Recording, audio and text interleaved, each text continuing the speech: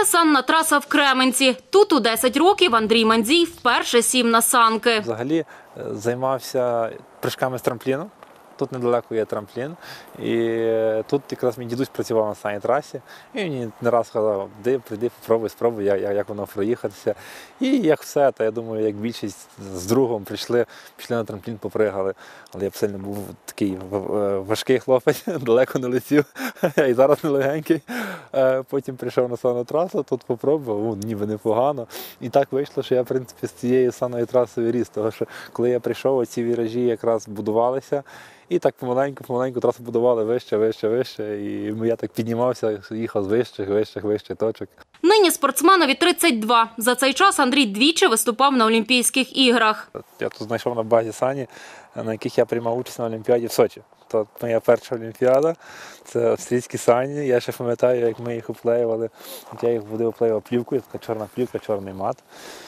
Ось, і вони такі дуже хороші, дуже зручні, і вони ще служать ще зараз нашим е- спортсменам. А це відео з Олімпійських ігор у П'йончхані в 2018 році. Тут Андрій під час заїзду випав із саней.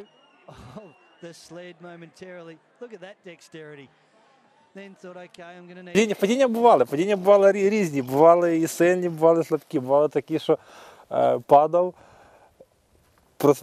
просто, приходив в себе на десь через два віражі, такі, о, що, що сталося. А так кременчанин виступав на чемпіонаті світу в Німеччині цього року. На цих змаганнях Андрій став першим українцем, який пройшов кваліфікаційні заїзди та вийшов у фінал у спринті. Зазначу, ця дисципліна в програмі чемпіонату світу з 2016 року. У попередні роки українські санкарі не проходили кваліфікацію. Там така траса одна з найстаріших в світі.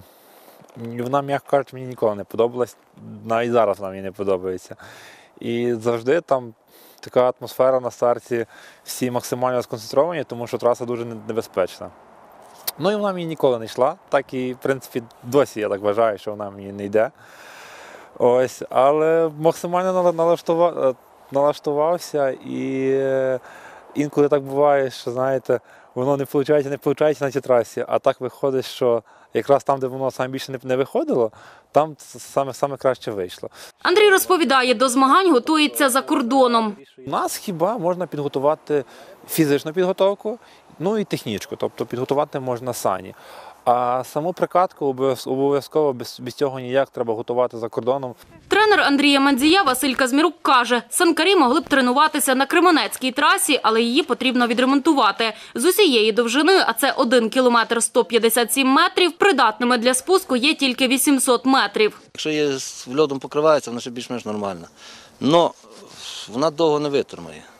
Ще рік, два-три, якщо не будуть вложити кошти, не будуть її реставрувати, ремонтувати, вона прийде просто занепад. Ну, цій трасі вона побудована десь приблизно в 2000 році 20 років. Ну так і є, розумієте, по всіх каталогах міжнародних. Дерев'яні траси вони 20-25 років вони більше не витримують. Ця траса більш-менш підходить для юнаків, юнаків, юніорів, які можуть ще тут готуватися, а для е, членів збірної команди, які виступають на чемпіонаті світу, на Олімпійських іграх, на етапах Кубку світу, вона не є досконалою, розумієте?